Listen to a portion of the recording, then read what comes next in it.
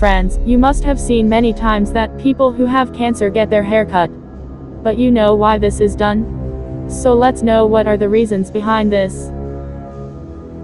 Cancer is a very dangerous disease. But its treatment is now available. But the treatment has not yet reached all the people. When a person has cancer, he is given a lot of medicines in his treatment. And many injections are also given. While cancer itself doesn't typically cause hair loss. A common treatment for the disease does. Chemotherapy kills rapidly growing cells, so you can get side effects in three areas.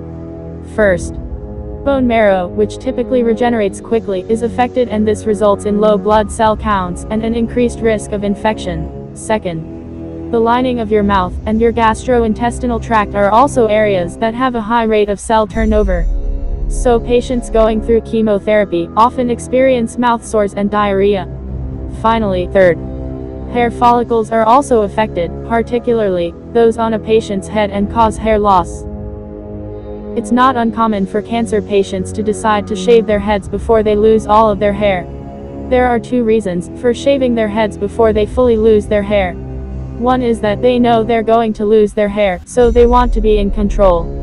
The other is that when hair starts to fall out, it can get on everything and become extremely inconvenient. It clogs up the shower, it gets all over your pillow, and it's a mess.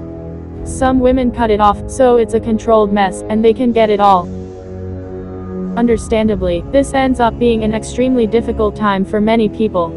Between potentially undergoing surgery to losing their hair to dealing with a decreased libido, it can be tough to process. Friends, now you must have understand why the hair is cut of a cancer patient. If you liked the video, then click on the like button and subscribe our YouTube channel and also click on the bell icon, so that you can watch the upcoming video first.